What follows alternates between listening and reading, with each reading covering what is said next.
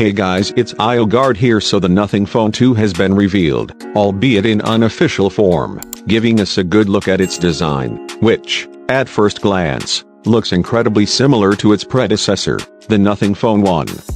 Be that as it may, there are some small changes here and there, and, in the end, it could end up becoming one of the best Android smartphones of 2023. TTER known by his online handle OnLeaks OnLeaks has had a relatively reliable track record when it comes to early looks at devices, so what you're looking at has a good chance of being the real deal. Of course, with that said, there is always the chance that it could be off by a little or a lot, so just take that into consideration when looking at these images. Furthermore, the source website does state that these renders were created referencing live pictures of a testing stage unit.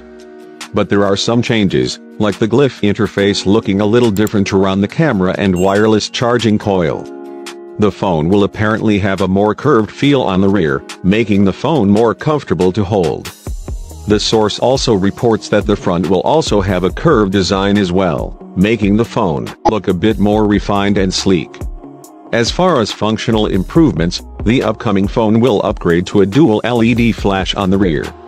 Nothing CEO Carl Pei is a mastermind when it comes to product rollouts, starting buzz for the Nothing Phone 2 towards the beginning of the year, confirming that the phone would be coming to the US sometime in 2023.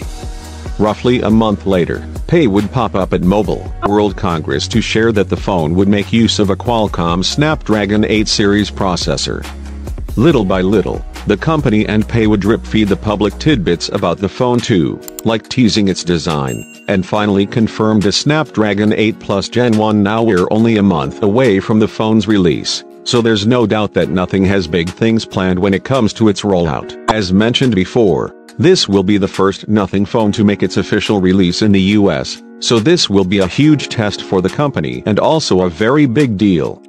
While it hasn't sold huge numbers when compared to larger companies like Apple and Samsung, Nothing announced 1 million units sold at the end of 2022, which means it must feel confident in its work, and things are only going to get more interesting from here.